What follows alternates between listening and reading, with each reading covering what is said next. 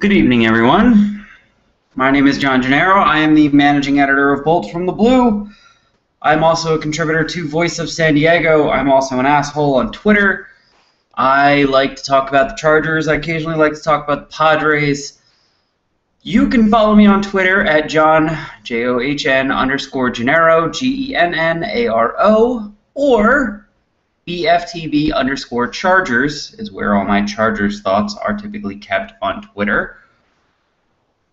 What else? Uh, so I was considering not doing this tonight because San Diego is burning and a lot of people are don't have internet, don't have houses at the moment or homes.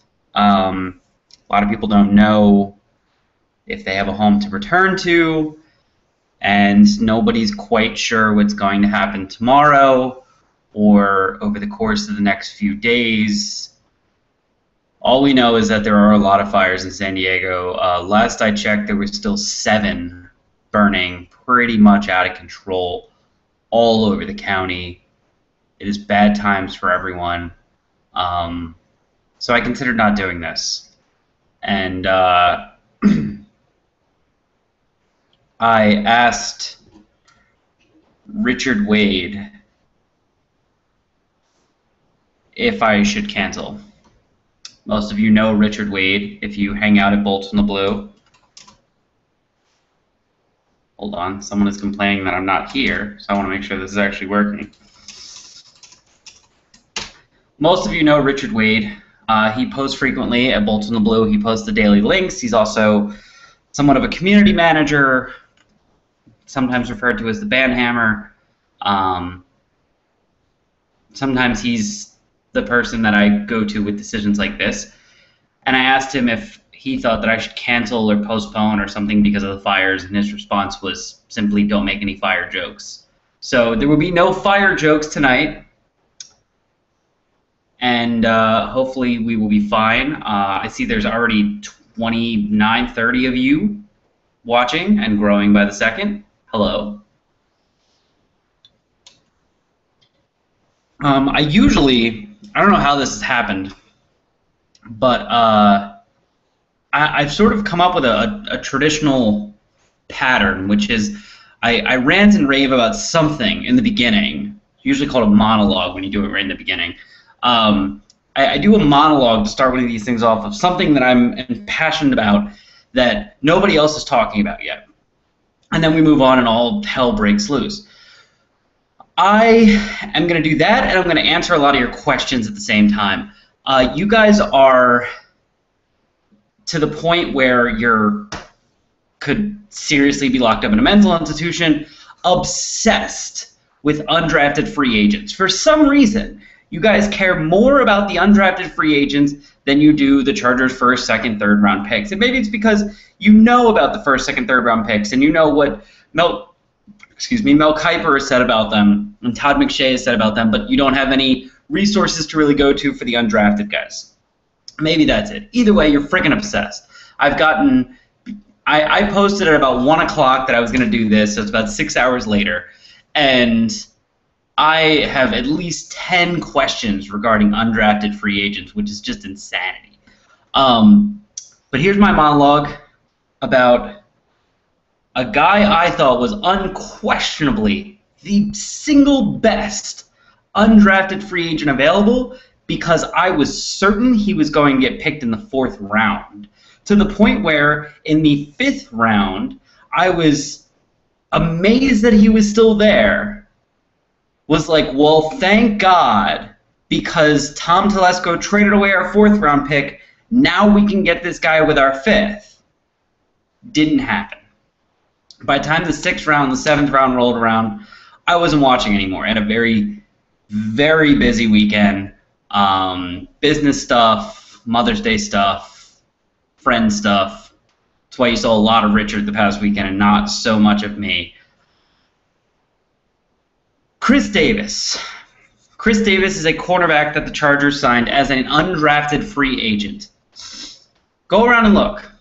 Most places had him projected as a fourth round, maybe fifth round pick. Chris Davis, dramatic pause, is a potential starter in the league.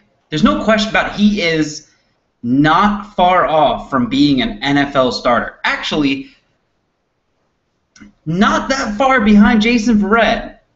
And I would wager to say, at this point, coming out of college, 21 years old, is a younger, cheaper version of Richard Marshall with potential to grow.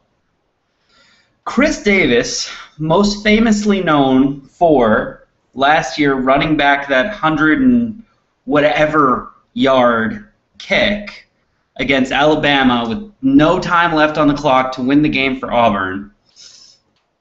Chris Davis is roughly the same size as Jason Verrett, um, but a little bit taller. He's 5'10, and he's thick.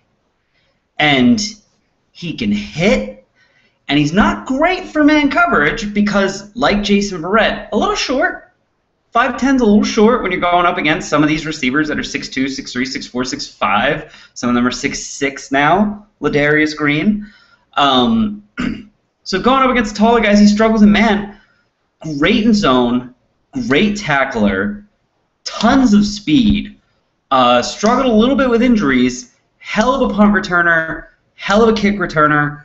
Uh, can play the nickel, can play outside. Literally is. I, I'd wager to say at this point, as valuable as Steve Williams. And Steve Williams, I believe, was a third round draft pick.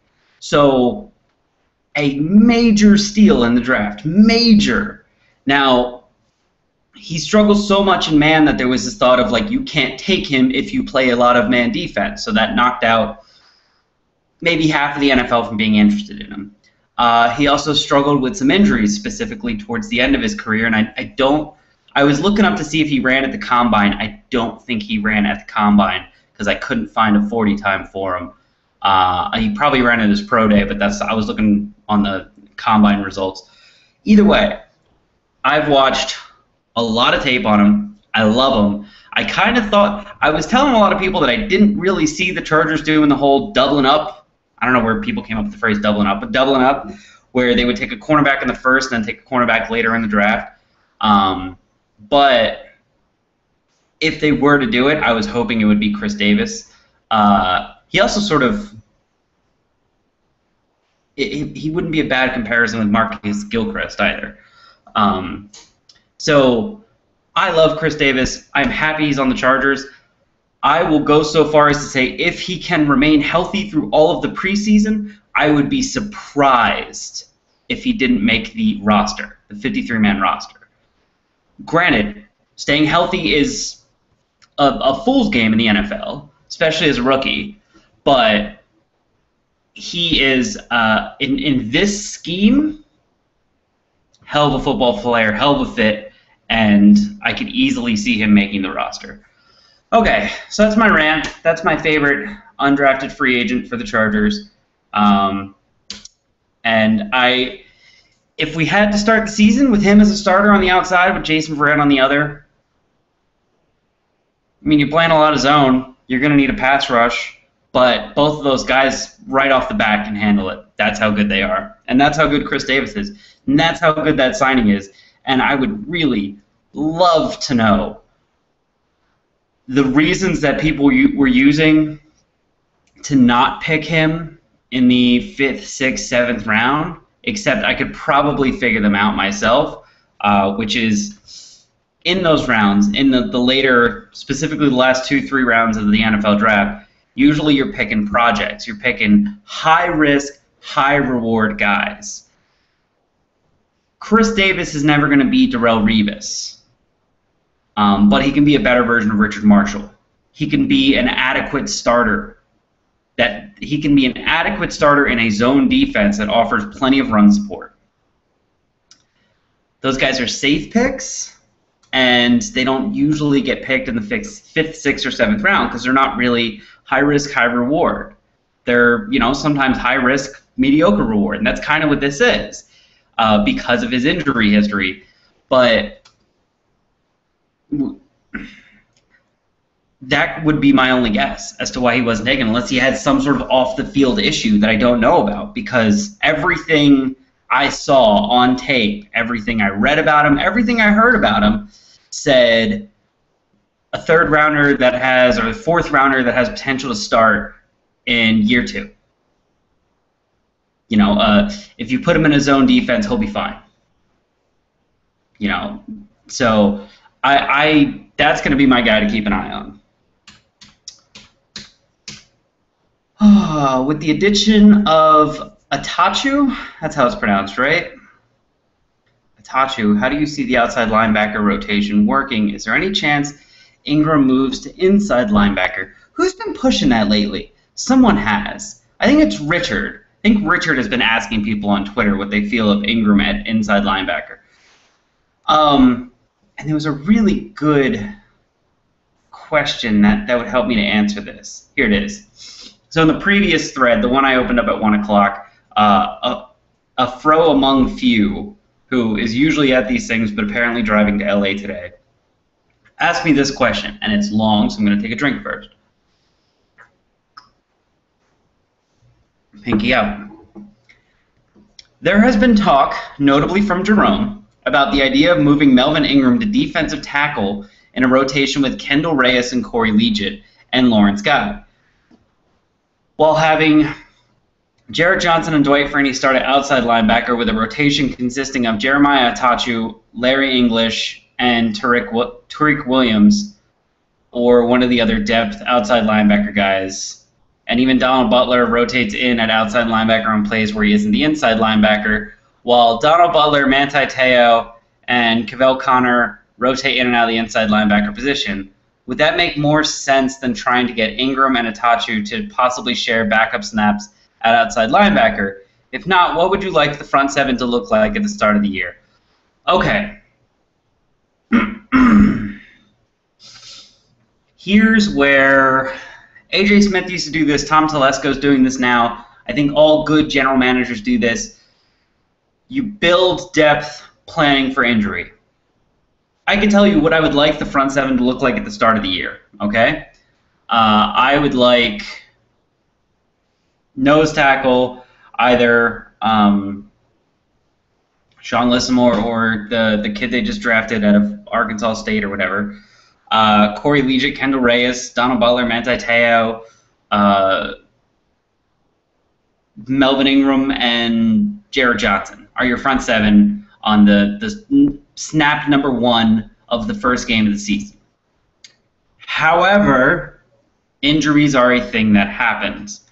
So there's a good chance that one, two, three of those guys are going to get injured. Last year we had, and and you know a couple years ago we ended up in the same situation, starting just anybody at outside linebacker. We had Reggie Walker was one of the more consistent outside linebackers his team had last year. So before Ingram came back and, and was awesome. So my guess is from that first group of four, Dwight Freeney, Jarrett Johnson, Melvin Ingram, Jeremiah Attaochu, one of them at least is going to get hurt, if not during the preseason, during training camp, early on in the season. Maybe not for the year, but you know, for a couple of weeks. At which point, snaps for the number four guy go way up. Snaps for the number three guy go way up. Um, and at this point, Dwight Freeney and and uh, Attaochu are just pass rushers that can't really do anything else. I mean, Attaochu's athletic, but he's a pass rusher. That's all he is.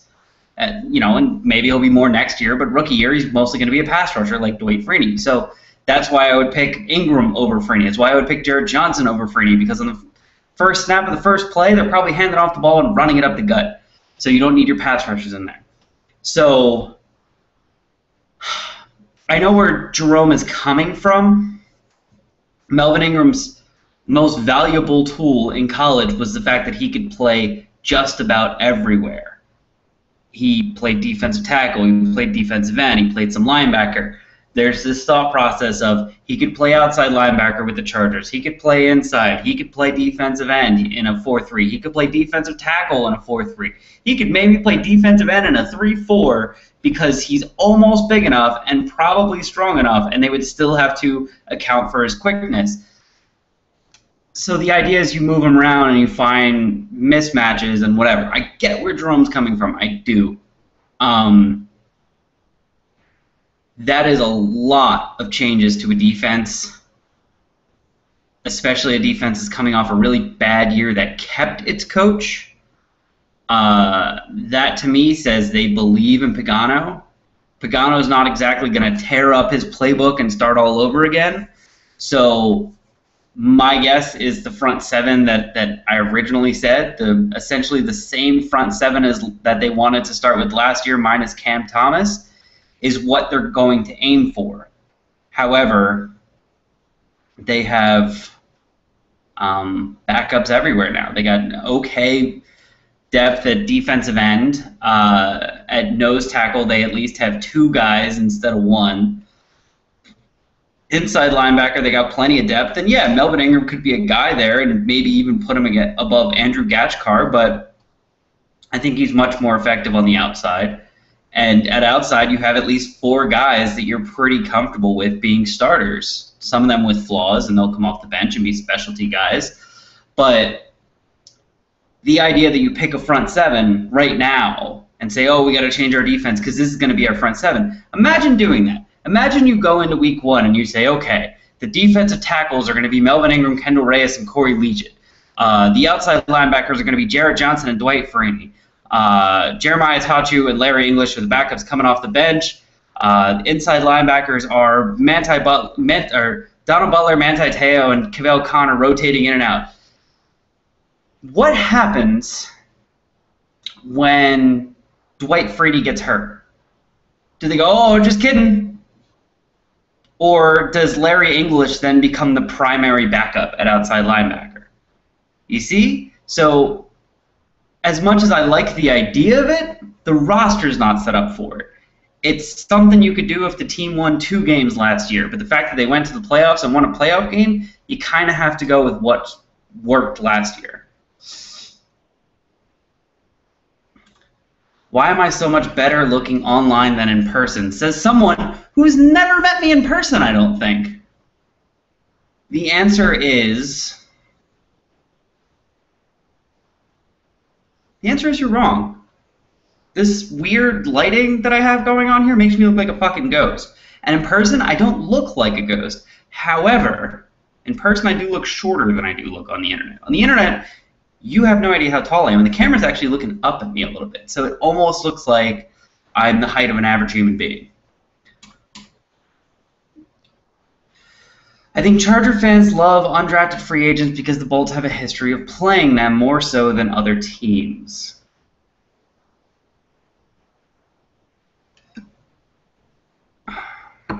Yeah, okay, that's fine. There's a War Eagle. Steve Williams is fifth. Why do I always think he's a third rounder? That's right, third round of last year was Keenan Allen. Damn, that's a good third round pick. By the way, for someone who asked earlier about hand size, uh, I think this was in response to Tevin Reese. I think Tevin Reese has really small hands. Keenan Allen had the largest hands among wide receivers in the draft last year, and it's not close. Like, hold on, I found a list.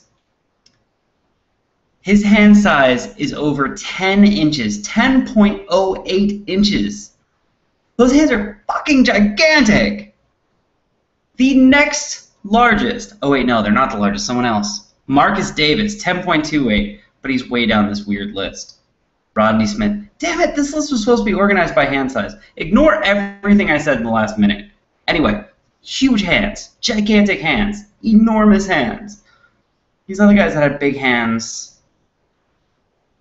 are not very good. So no, hand size apparently doesn't mean anything, unless you're Keenan Allen. They certainly help him though. Does Attaochu make it so that the Chargers might cut English or Tourek?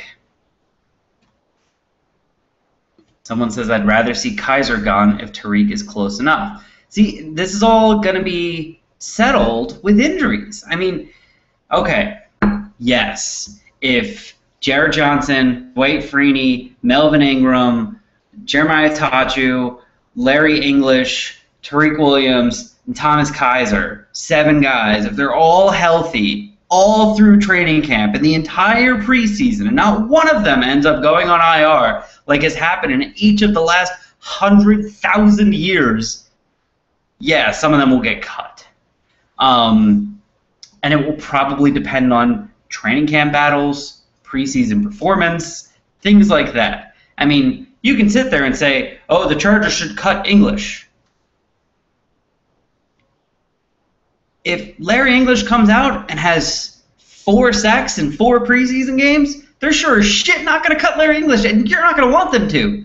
So, position battles and whether or not someone's going to make the cut with something like that is totally dependent upon preseason performance, how they perform in training camp, in their battles, if they're given a battle, and health. It is almost entirely dependent upon health.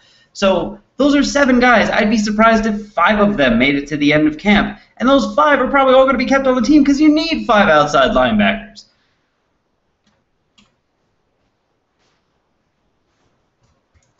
Oh, you guys, I'm getting to the Attaochu. Isn't that what I've been saying? Um, okay. What do you think? Why did Chris Harris drop so much? Um,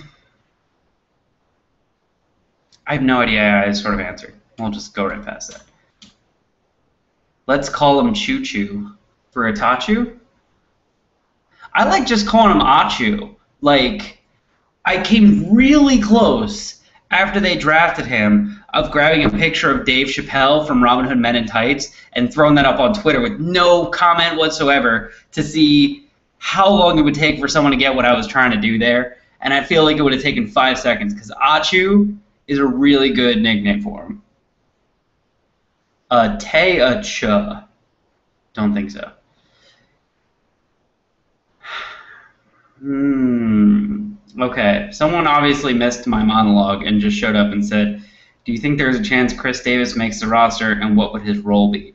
Um, instead of wasting everyone else's time, I'm gonna just tell you once this is over to go back and hit play again, so it plays a recorded version, and you get the first 10 minutes where I told you that Chris Davis is going to make the roster, said he might even start possibly, and I wouldn't be mad at it. Um, as far as who will be the kick returner this year, I do have some names I want to throw out at you. Chris Davis is one of them. Uh, you guys probably saw me earlier saying, you know, I hope Tevin Reese can get a chance returning kicks.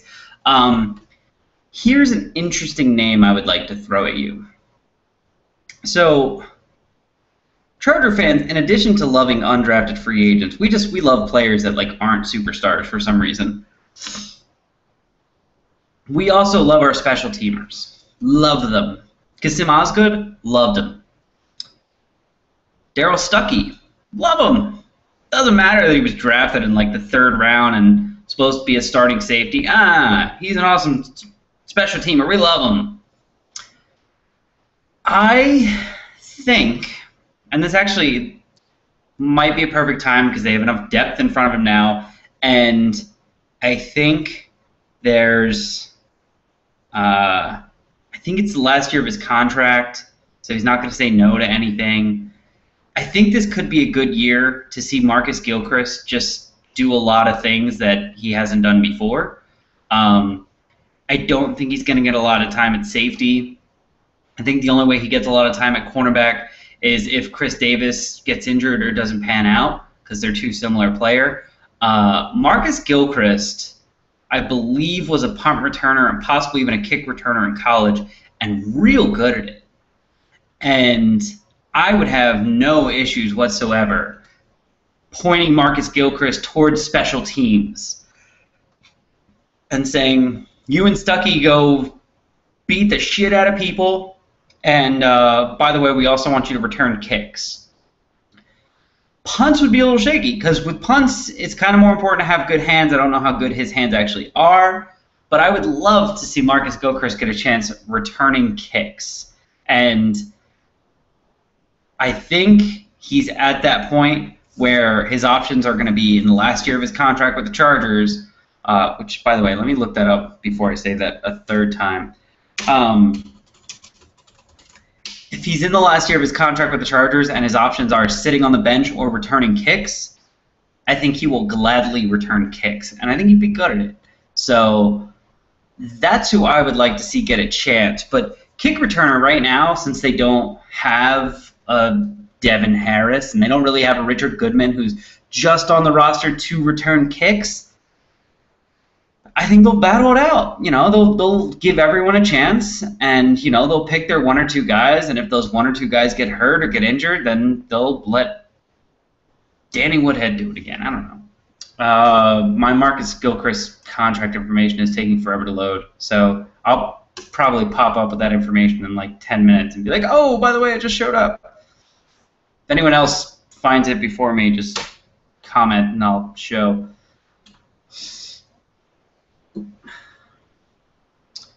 Really hope Keenan Allen has a season that matches his rookie year or better. I doubt he will. I mean, that's a really hard thing to do. It's a really hard thing to do. You know what they say about guys with huge hands? Yes, Ladarius Green has gigantic hand size because he's a gigantic human being. Marcus Gilchrist, in the last year of his contract, I was right. Second round pick, picked 50th overall, picked with the exact same pick as Jeremiah Attaochu. Granted, I do not believe AJ Smith moved up to get him, and Gilchrist, what, started two games as a cornerback and like six or eight last year as a pretty poor safety before they started replacing him. Has never really done anything in the return game. Like, there's a lot of bashing that goes on for guys like Buster Davis, Larry English, and granted, they can't stay healthy. But no one's ever busted on Marcus Gilchrist. Like, he was okay. He played a lot of nickel corner, like in 2012, and he was not the worst nickel corner in the history of the world. But second round pick. I mean, he was picked, I believe, the same year as Shareece Wright, and immediately AJ Smith was like, "These are our starting corners of the future." Shareece Wright, you could argue, kind of lived up to his billing because I think he was a third or fourth round pick. Gilchrist has been a huge disappointment with that pick. Just huge. So. and apparently, this page allows you to comment or review a certain player. The only review on Marcus says Marcus is not only a quality football player, he is also a follower of Jesus. No, hold on. I need to pause because this is in all caps. I'm going to need a second. We need to read this in all caps. Marcus is not only a quality football player, he is also a follower of Jesus Christ. We need more of this caliber player in all sports. See? So maybe he was worth that second round pick. Oh, nice. Someone posted the picture of Achu in the draft thread. Glad to know I'm not creative. hey, Mikey, what's up? Bubblegum, sunflower seeds, or chew, your preference. Okay, I'm going to tell you guys something. I'm going to tell you something that I haven't told you in a long time. I'm going to tell you something. So, I got a new job about six months ago I got a job uh, working on the website for Fox Sports Radio. Big time, national sports radio. Um, I do nothing with the radio side of it. It is all just the website. Just total nerd shit, because that's kind of what I am. And it's fun. It is totally fun. So, they got a huge sponsorship from this company called BIGS who makes sunflower seeds. BIGS sunflower seeds. I mean, just massive. Like a, the biggest sponsor I believe they've ever had.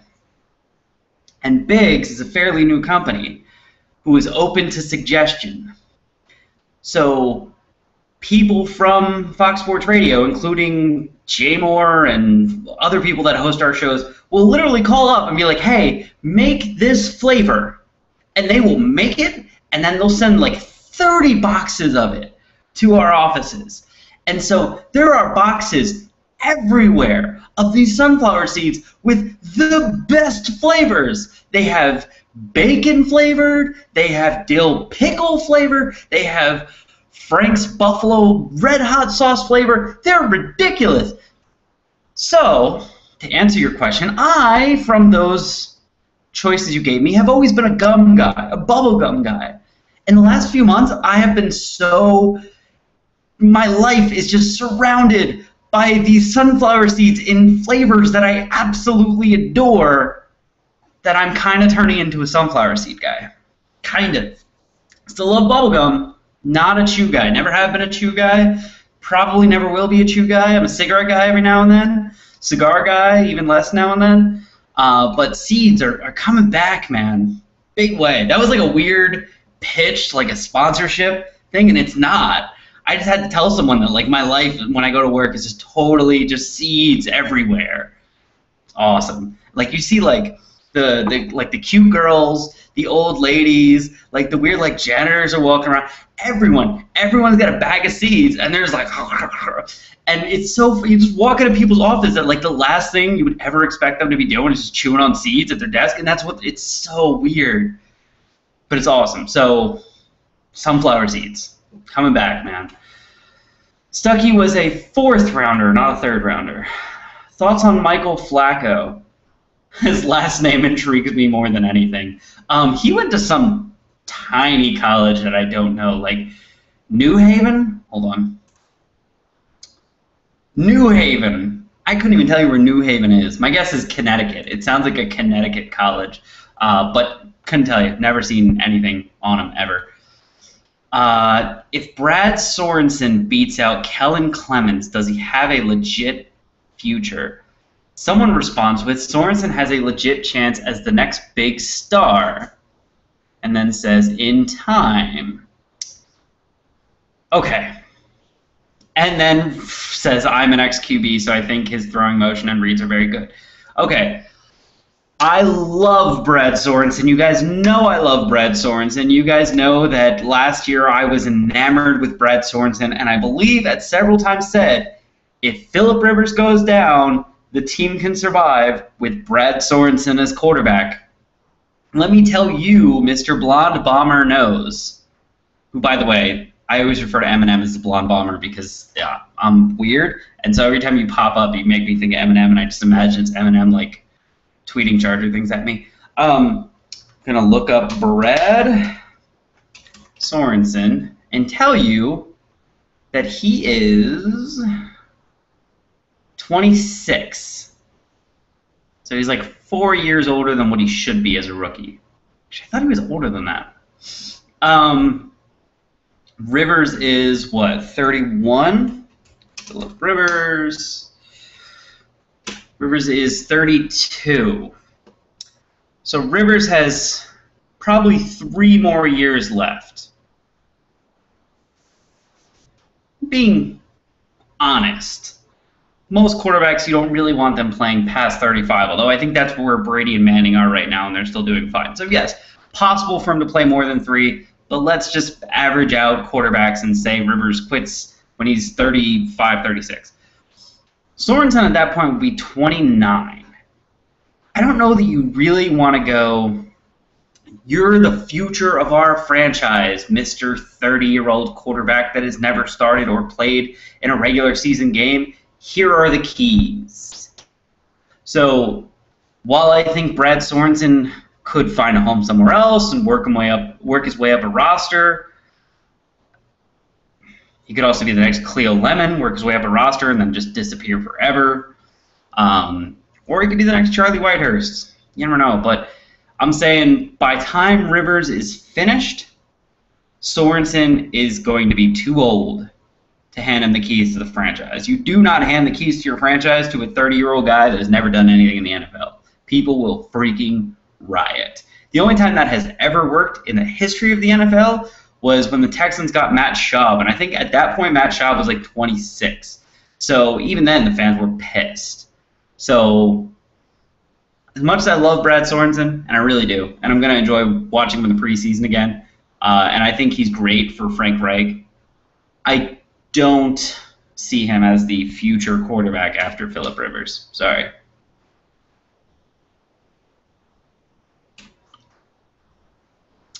Do you think McCoy's conservative play calling will be similar this year? Do second year coaches loosen the straps a little? Was it McCoy or Wiz? Pretty sure it was Wiz. Conserv. Oh, okay. I thought you were talking about like the whole fourth down thing. I still, I, I don't think McCoy's going to change as far as fourth downs and punting when he should be going for it. I don't think he'll ever change in that regard because he's too much like John Fox. Um, as far as just like running it three times from the one yard line and all that stuff, um, I that'll depend on Frank Reich. That'll depend on Frank Reich and and how good he is right out of the gate. Because how good he is right out of the gate, you know, him and Mike McCoy can go way back, and Mike McCoy can totally believe in Frank Reich. But if Frank Reich comes out and it's just not working, Mike McCoy is going to take a little bit of the control because he doesn't want the season to go down the drains because Frank can't figure it out fast enough. At the same time, if Frank comes right out of the gate eh, on fire, then Mike McCoy will totally be like, hey, look, whatever you're doing is working. Don't let me get in the, oh, you want to throw downfield? Throw downfield. Dude, go crazy. You want to throw four times from the two yard line? Go crazy. Whatever you think works, Frank. Right now, everything you're doing is working. So I don't think it has anything to do with anything except how quickly Frank Reich finds success. End of this upcoming season, do we re-sign Ryan Mathews or Danny Woodhead or neither or both?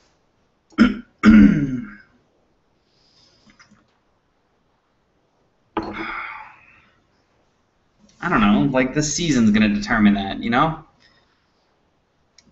If they have the same exact season that they just had, like just a, a second time, then which is impossible because that means Donald Brown does nothing more than what Ronnie Brown did. Um, but my guess is Mathews is gone and Woodhead stays. That would be my guess. Because Woodhead at that point is is going to be reaching that point where he's. Oh, let's see. Looking up a lot of ages today. Woodhead. Danny Woodhead is 29. So he'll be 30. He's 5'8. Danny will be on the down slope. You know, he'll be at that part where Darren Sproles was, where the Saints were like, "Yeah, we don't really want to pay you," and found their way out. So I think Woodhead will be cheap-ish, not, you know, probably a little bit more than his current contract, which was super cheap. Um, but there's really not a lot of reason to bring back Ryan Mathews when you have Donald Brown and you're paying Donald Brown as much as you are. So my guess is they re-signed Danny Woodhead. But you know, the season can change that. Ryan Mathews wins the MVP this year, you got to bring him back. Ryan Mathews is a Super Bowl MVP, you got to bring him back. I thought Mike Herman was the next big star. You and me both. Mike Herman was just a great story and had so much potential. He was just a freak of nature, just a big, strong kid who could run, who had video of him playing against midgets, and it was awesome. So I just wanted him to, to succeed. So I'm sure this has been talked about before, but I was wondering, I've heard McCoy say that people have to earn their spot on the field. So if Watt goes into training camp and shows out and Clary struggles, does that force the Chargers to give him the pay cut we all think he deserves and start Watt? Obviously the depth is necessary, and Clary's supposed to be a great guy in the locker room and on the field. So you want him just not for the price he's at now. Okay, Mark West, I'm going to quiz you, and everyone else who's watching. I'm not going to wait for an answer, though, because you guys are, I don't know, a minute behind me, and I don't want to sit here for a minute. Maybe I'll ask and drink a beer and see if anyone's answered. so last year, Mike McCoy said, going into training camp, everyone has to earn their spot. We're going to play the best five guys on the offensive line. Who's at left tackle? We're going to play the best five guys on the offensive line. Who's at right guard? We're going to play the best five guys on the offensive line. Was that actually the best five guys on the offensive line? Follow up question Was there anyone who earned a spot, starting spot last year, anywhere on the Chargers defense that wasn't the starter at the start of training camp? I will drink. I will wait for a minute and I will look through the rest of these comments.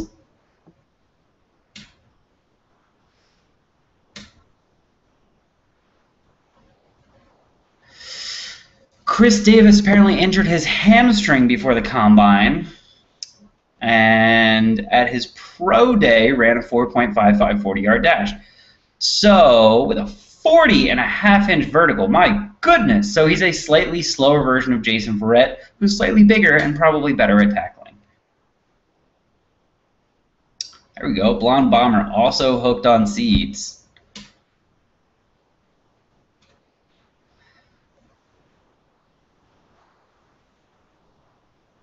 Okay, so Mikey's response to my question is I think no. Last year, Keenan Allen apparently had a really good training camp. He didn't get onto the field until Malcolm went down. They basically had to play him.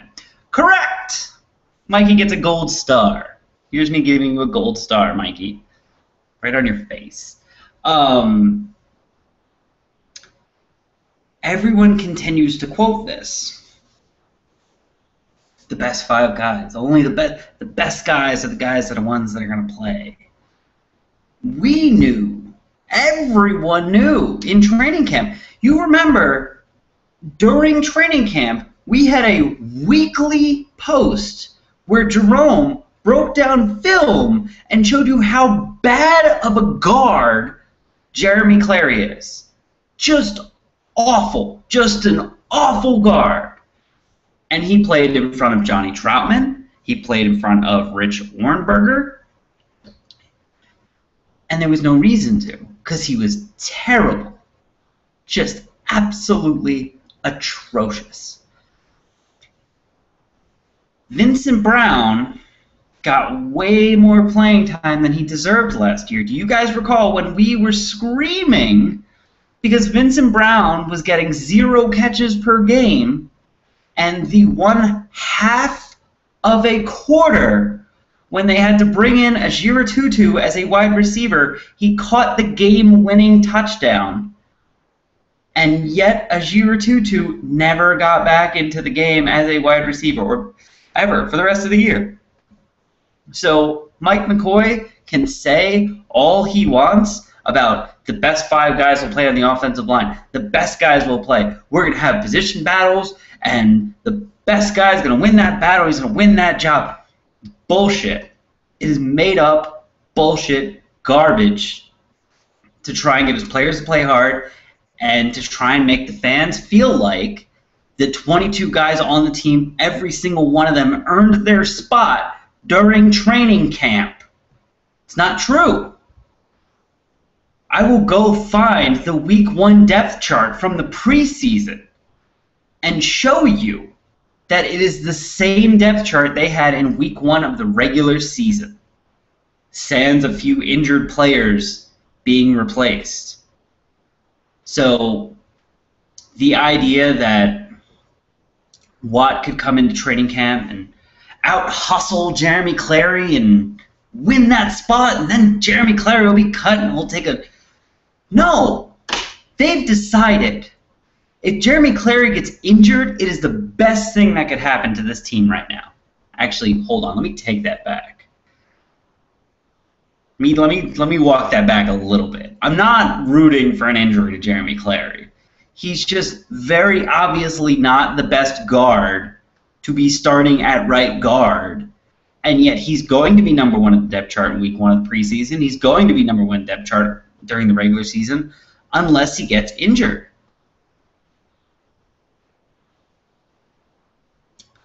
No one's going to beat anyone else out in training camp. It's not going to happen. No one's going to beat anyone else out unless there's an injury. You know, you're not going to see Tevin Reese play so good that Malcolm Floyd gets bumped down to the third or fourth wide receiver. You're just not. If Keenan Allen has the single worst training camp and preseason a starting wide receiver has ever had, do you know what position he will be on the depth chart at the end of the preseason? Going into week one of the regular season, he will be the number one wide receiver on the depth chart. So, no, Chris Harris, Chris Watt will not beat out Jeromey Clary. Neither will Chris Harris. Will Jason Verrett's speed fool some of the younger quarterbacks we face this year, like on out routes and comebacks? Maybe EJ Manuel and Atkins will struggle. Who is Atkins? Is that the name of a quarterback? I'm, I'm totally serious. Is that the name of a quarterback that we played this year? Who the hell is. I'm, I'm doing a search right now. Atkins QB. Geno Atkins. Geno Atkins the no, Geno Atkins is the defensive end. Who the hell is Atkins? I I can't answer your question until I know who Atkins is. I'm sorry. What are your thoughts on how Telesco drafted?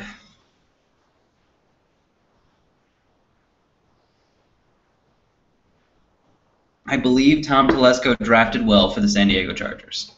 You know, I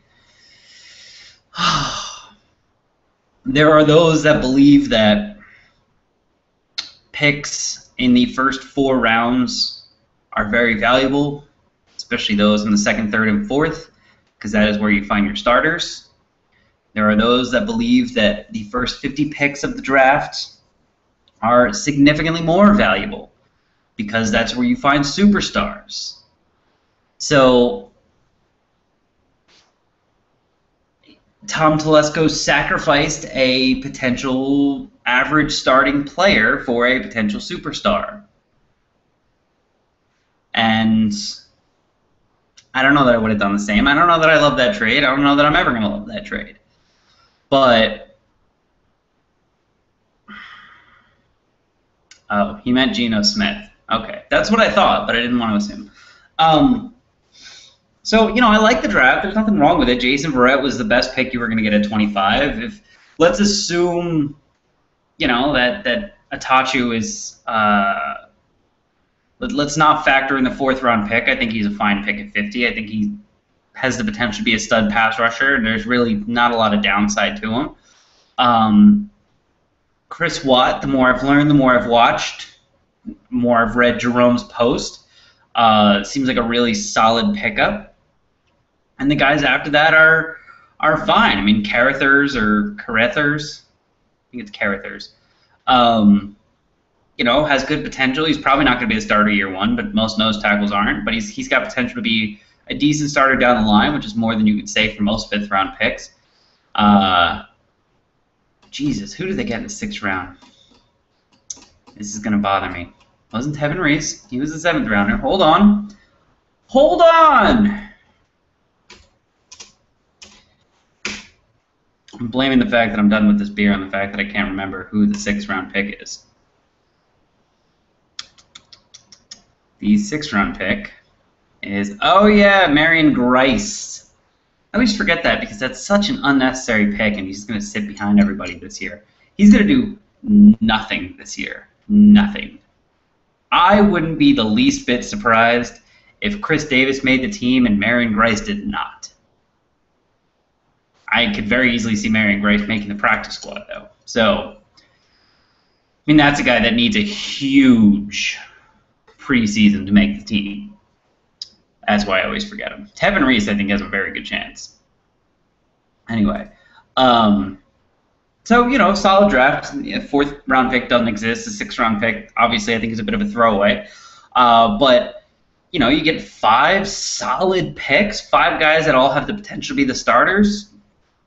I mean, not in year one, maybe not in year two, but in year three, really can't ask for much more than that. Uh, it's better than a lot of drafts we saw from AJ Smith. Okay, so back to your question. Uh, will Jason Verrett's speed fool some of the younger quarterbacks we face this year, like on out routes and comebacks? Hopefully. Um, yeah, hopefully. Addae wasn't the starter at the start of training camp. He wasn't the starter in week one of the regular season either. That was Marcus Gilchrist, even though he was terrible. Marshall wasn't a starter. Wasn't the starter in week one of the regular season. What I'm telling you guys is that the regular, the preseason and the training camp does not change who the starters are. You guys are going, oh, well, this guy started at the end of the year. Yeah, Marshall started at the end of the year because Derek Cox was so fucking bad. But week one of the preseason, it was Derek Cox and Shareece Wright. Week one of the regular season, it was Derek Cox and Shareece Wright. That means that training camp and preseason are irrelevant when it comes to training camp battles under Mike McCoy. Listen. Your predictions on our rookie stats go entirely dependent upon interviews, interviews, entirely dependent upon injuries, and I'd rather not. Which quarterback would you have drafted in the first round? Like, which quarterback do I like the best?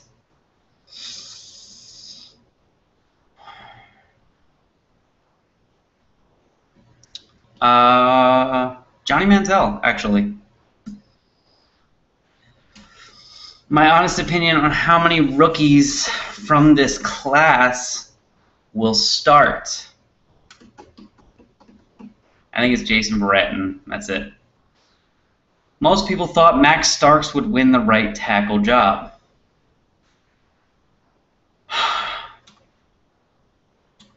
people certainly weren't counting on Dunlap, blah, blah, blah. No, no, you're talking left tackle. Right tackle, we all assumed it would be DJ Fluker. Um, left tackle, they signed Dunlap. We thought it was Dunlap, and then they signed Max Starks, and we went, oh no, it's going to be Max Starks! And then Max Starks turned out to be garbage. So, yes, before the Max Stark signing, we thought it was going to be Dunlap. If you go back and you look, the first day of training camp, because Mike McCoy was, oh, the best five players, the best five players, the first day of training camp, you can find these tweets, but they're a million years old. Well, they're a year old, a million days old, or 260. The first day of training camp, the offensive line went Dunlap, Rinehart, Hardwick, Clary, Fluker. And there was this, oh, well, that's the first lineup they're trying. Then they're going to try other ones. They never did. At some point, they tried Starks at left tackle. They tried a little bit of Starks at right tackle, and then they realized he sucked. And then it was right back to that first lineup.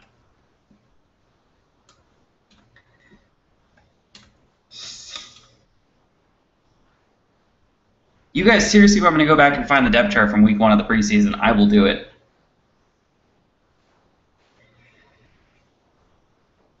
Hey, hey! Mikey got a gold star from uh, the cute girl from Glee. Congratulations. What did I miss? John seems pissed, which is pretty much on par for this phase of generally speaking. Not really pissed off, just being loud and exciting. You did miss me yell in all caps. It was fun. Man, that game at Kansas City was so much fun to watch. Yes, it was. Our best bet for getting rid of Clary is that they are waiting for June 1st to cut him. Hard to argue with that. I think they, they if they wait until June 1st, they can split his cap penalty, something like that. Preseason week one depth chart. Oh, wrong year.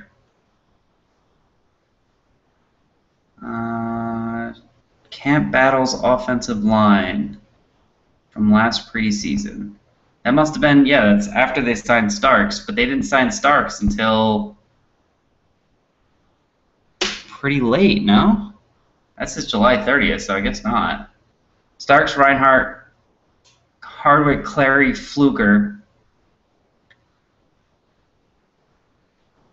and Dunlap was the first behind Starks. So I don't think Dunlap necessarily beat out Max Starks as much as Max Starks was just absolute gar- garbage. Hey, we got a newbie! Uh, and he watched footage today. Let's get his scouting reports from Bolt Up or Shut Up. Oh my god, I'm to hate you already. Jason Verrett, love his ability to mirror receivers unless he was burned by a great move. He didn't give up much separation unless the receiver pushed off, which makes me hopeful he will draw some offensive pass interference calls. Not likely. Attaochu really likes to, really seems like a feast or famine guy, not ready to start, not likely to make a big impact, but will probably shine in a couple of games. He's a speed pass rusher without much else, but those guys can survive. Carruthers, great at standing up double teams, but I thought he would be better at pushing the pocket when only facing a single lineman for how strong he is. That's the reason he was available there in the fifth round. Grice, great nose for the end zone. I don't think his preference for chop blocking is going to work at the next level when facing better athletes. Uh, I hate that great nose for the end zone thing, but it's really hard to deny with him. But he's just doesn't have the strength to survive in the NFL.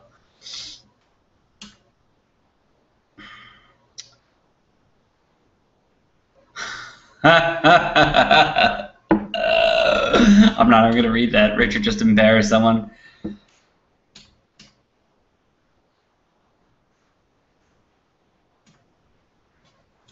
Any chance Andre Johnson comes to San Diego? We answered this the other day. Someone please provide that man with a link about why we cannot afford Andre Johnson, and there is literally no reason for Houston to trade him to us.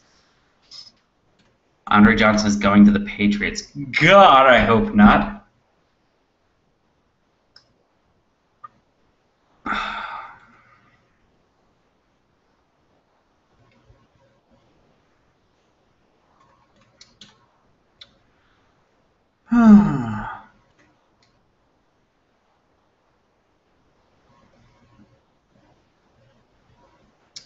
Oh, now people are talking about the Week 17 game against the Chiefs.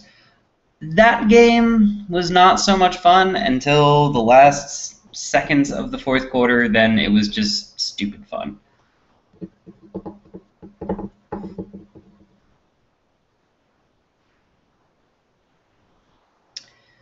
Okay, why the hell would a coach like McCoy not start his best players? That doesn't make any sense. because some guys value certain things above preseason and practice reps, you know. They probably looked at Jeromey Clary and went, well, he was a pretty good right tackle, so he should be above average right guard. We know he looks like he sucks, but he'll figure it out. He's only been playing this for like three weeks. He never did. That would be my guess.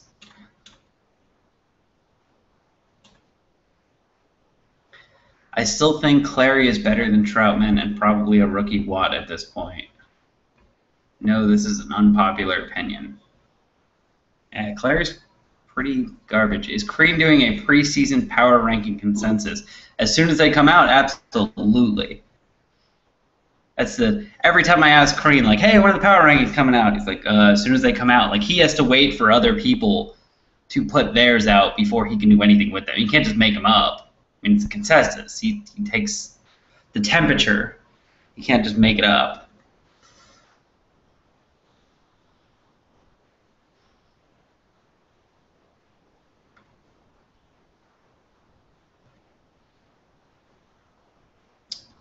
Best is subjective when it comes to Mike McCoy. Yes, absolutely. Okay, guys, it is 8 o'clock. I've been doing this for an hour. Uh, San Diego is probably still on fire. So we'll do the uh, the money round. I'll give you guys 15 minutes to ask me absolutely anything and everything, and I will answer them all 100% honestly if I can. Uh, it can be about the Chargers. It can be about the Padres. You want to talk NBA? We can talk NBA. It can be about me. It can be about life. You can ask me anything, and I will answer all of it. And you have until 8:15, which you know it's probably gonna be like 8:13 for you guys because you're running behind me. But by all means, send in your best questions at this very moment. We will call it something better than lightning round, even though lightning round would just be so fitting. Screw it, we're calling it the lightning round. I may need to get another beer for it though. In a sense, best has already been decided no matter what happens throughout training camp preseason. Yes.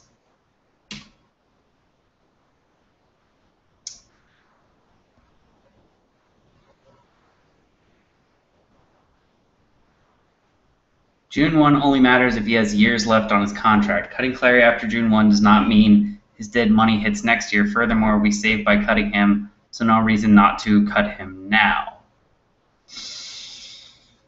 I'm good with cutting him now. Especially now they have Watt. I mean, I was. I, I think I said in the last one of these videos that a good reason to wait on cutting Clary is to see if you can find someone to replace him in the draft. And as soon as you can, then you cut him. That way you're not creating a big hole on your roster. So, I mean, no real reason to cut him today. You can wait until, I don't know, mini camp and have him groom the kid a little bit. Um, but, you know, you obviously don't want to wait too long. Still got the girlfriend slash fiance. No. Lightning round is easily the best name for it. Lightning round it is. So I'm hoping that Freeney just comes in on third downs or passing situations. I feel Ingram deserves to start next season. You and everybody else. I mean, look, the team went like six and one with him last year, so obviously. Have you ever updated the map where it shows where all the BFTB fans are globally? Updated? No. Um, actually, I want to do it over again. Now that we have way more people, it's still a fun idea, but you just got to do it all over again. You can't just keep updating the old map. Some people leave, and the whole thing was like way too open and easy to add things. So some people just add themselves like 600 times. Um, yeah. Ever played Bioshock Infinite? No, and actually, I sold my gaming PC uh, a couple weeks ago, and my PS3 is sitting in a box back there. I'm thinking about selling it too. So chances of me ever playing it are getting smaller and smaller. What do you think of Ingram taking snaps from Manti Te'o? I referenced you being infatuated with this idea earlier.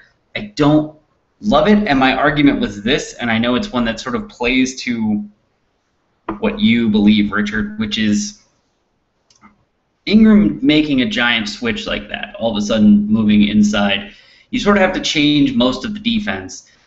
And you're asking Pagano, who had a really shitty job last year and did a really shitty job the year before, actually, too, um, to make giant changes to his defense doesn't sound like the best idea in the world to me.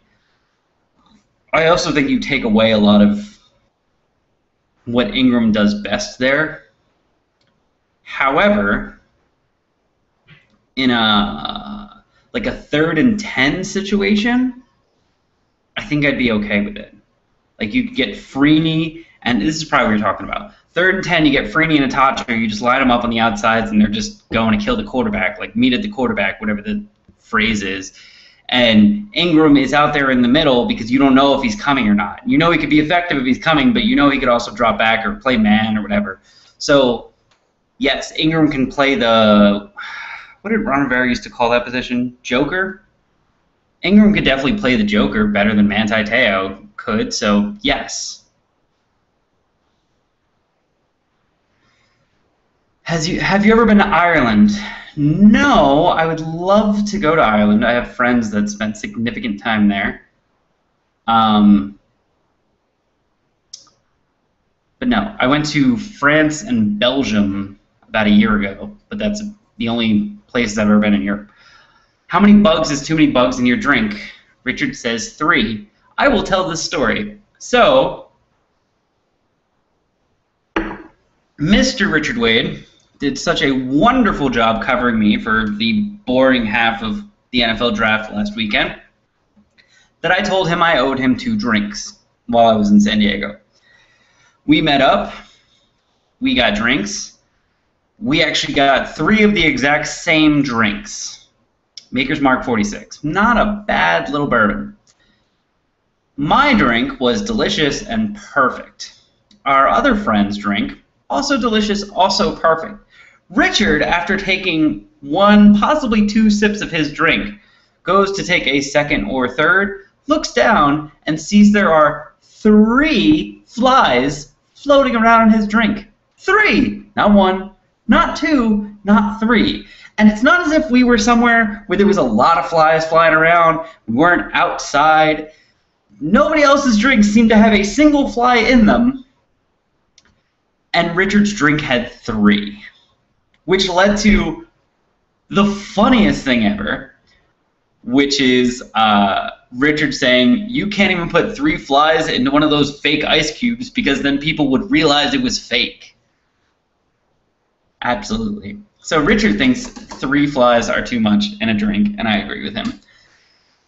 What is my opinion as to the reason why the Chargers seem to disagree strongly with you in regards to clarity?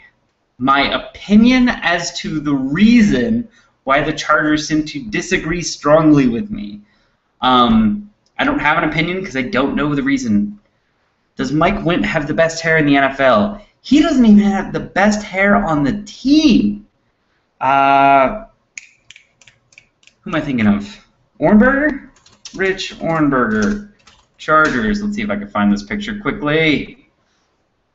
Probably not. There was a picture of him from preseason last year. He had long hair. He had a luxurious beard. Uh, he looks like. Damn it, I'm not going to find it yet. But his hair was pretty much perfect. Not going to find it. I will find it later and I will post it. It is amazing.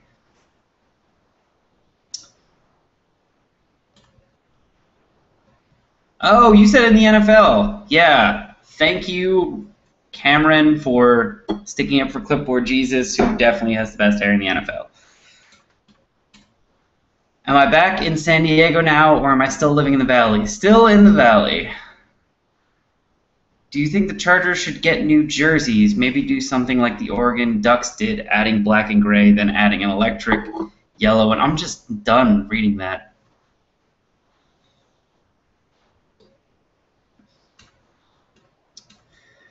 Wait, so you're not in San Diego? Yeah, I'm up in northern LA in the valley. It's only 5 p.m. here, still an hour and a half of sunshine. Are you in Hawaii? It's got to be Hawaii, right? Which non-obvious Chargers players are you looking forward to seeing improvement from this year? Non-obvious Charger players I'm looking forward to seeing improvement from this year. That is an oddly worded question, but I think I understand what you're saying. Um, non-obvious player. Is Kendall Reyes obvious? I feel like Kendall Reyes is due for a really, really good year. Who is my favorite local Los Angeles rock band?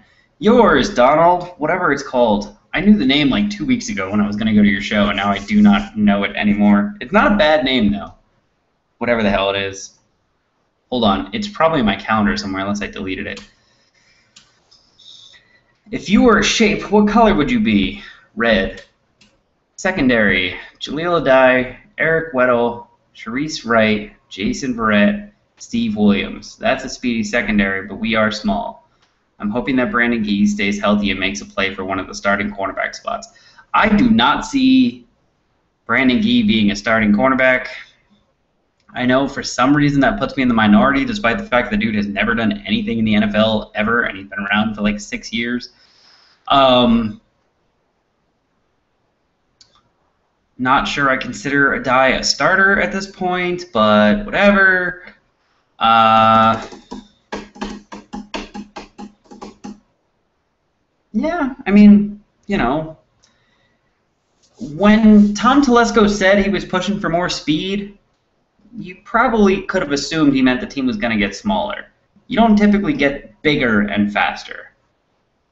To the nines! That's the name of Donald's band. Apparently that makes me a scholar and a gentleman. I still need to see your band, but the name is awesome. Where's Gilchrist? On the bench, Richard. He's on the bench. Who am I rooting for in the NHL? Uh,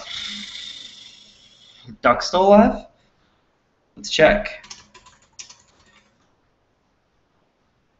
Ducks are still alive for like another period. So, go Kings! I don't know.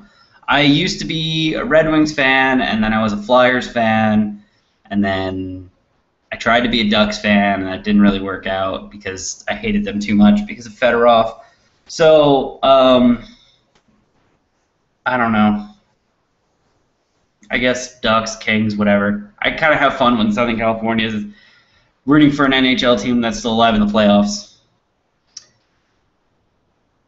I wish someone would say what's up with Brandon Taylor. No one seems to know. Uh, as far as what's up with Brandon Taylor's, I don't think Brandon Taylor's any good. Like seriously, what did we get? Like half a game from him? Was it that good of a half a game? I don't think Brandon Taylor's any good.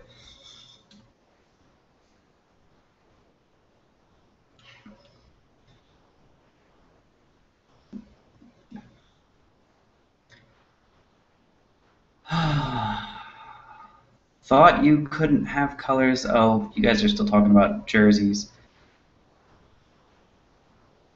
We have several Hawaii fans watching me right now. Hello, Hawaii. Hello, all 60 of you, actually, that are watching, but hello, that handful that are in Hawaii.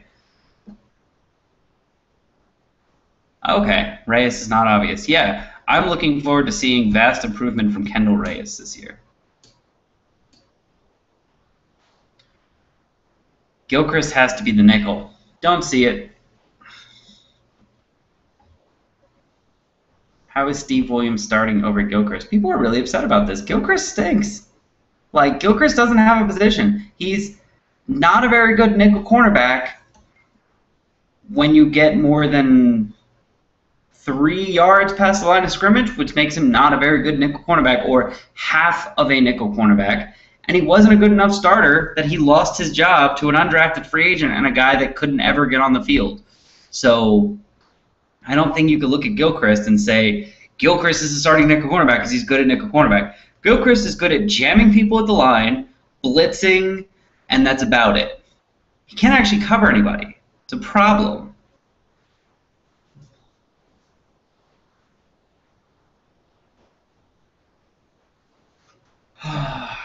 Wasn't Brandon Taylor dinged up all year? Uh, not that I know of. Just kind of bad. He was on the inactive list all year. Do you support a soccer team? Still trying to settle on one. Uh, I tried a couple of them, but it's hard to get into. One of these days, I'm going to pick one and stick with it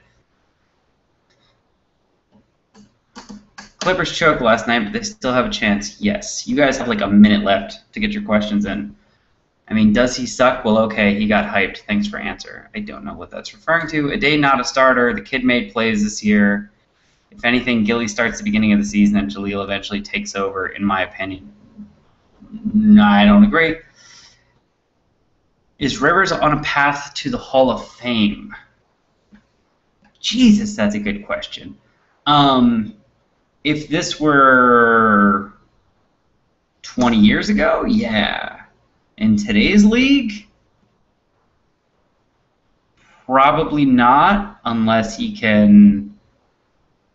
The season he just had, he needs like six more of those, and he probably needs a ring.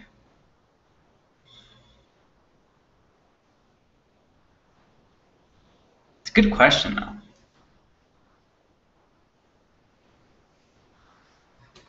Is this the year Ladarius Green statistically outperforms Gates?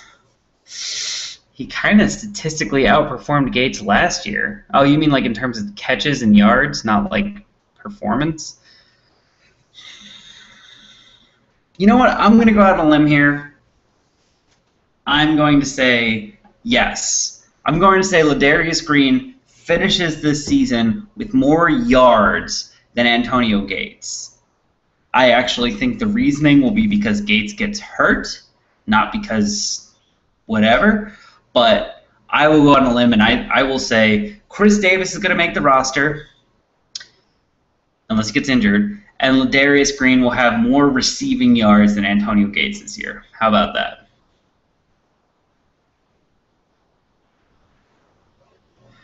Does Verrett come in as the number one cornerback immediately, or is he number two, or even nickel? Obviously, preseason will determine this, but what would you. Preseason will not determine this. We went over this, damn it. Um, I think Verrett comes in as the. I mean, number one and number two are so similar. I'll call him the number two cornerback.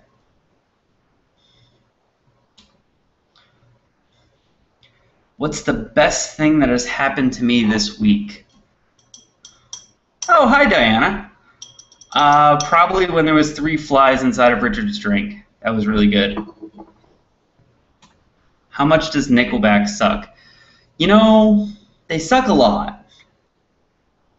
But when they first came out, people forget. When they first came out, before they were ever on whatever soft rock crap station plays them now. They were on like 94.9, and this may have even been before 94.9 and been 92.1. They were on like the indie underground, like back when Fuel was kind of big. It was like, this is the next Fuel! And they had one song called Leader of Men, which wasn't the worst song in the world. I actually thought it was kind of an okay song since then they've progressively gotten worse and worse exponentially.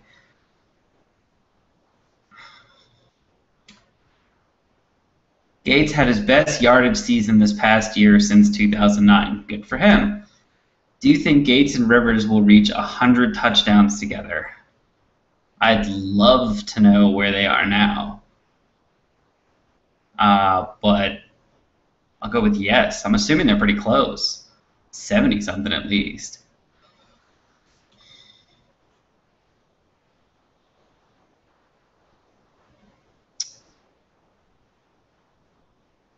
Did have knee surgery in December. Yes, Brandon Taylor did have knee surgery in December, and then had, you know, eight months. He had, I think he had ACL surgery, and then, you know, the but the thought process was he'd be back in halfway through the year, but yeah, you know, he could show up and then be like, oh, well, you know, he needed that year off because he tore his ACL or whatever.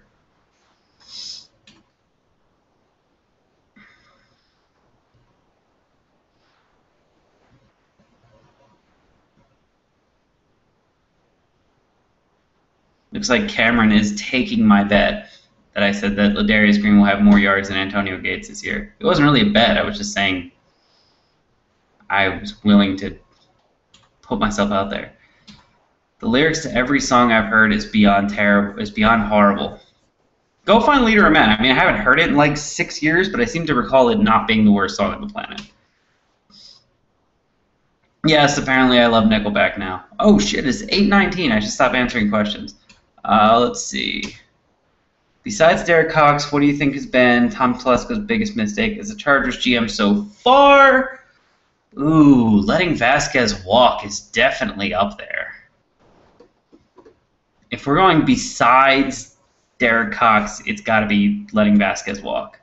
I don't know if that was actually his fault or just timing. I mean, free agency sort of crept up on him. He was hired not that long beforehand.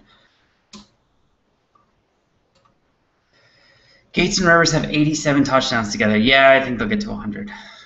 Okay. I'm going to get out of here before you guys ask me more questions. Uh, it has been lovely, as always. I will likely be back here at 7 o'clock next Wednesday. In the meantime, I'm going to go drink more beer or go for a run or something else. Uh, sorry there wasn't much of a Chargers draft review here, but I hope you were entertained and I hope you stick around for next time. See you.